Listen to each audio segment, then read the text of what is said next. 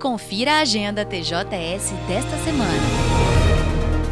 Nesta quarta-feira, acontece o lançamento do projeto Justiça na Escola. O evento será realizado às 8 horas da manhã na Escola Clotilde Rato, no bairro de Fátima, na Serra. Agenda TJS. Fique por dentro.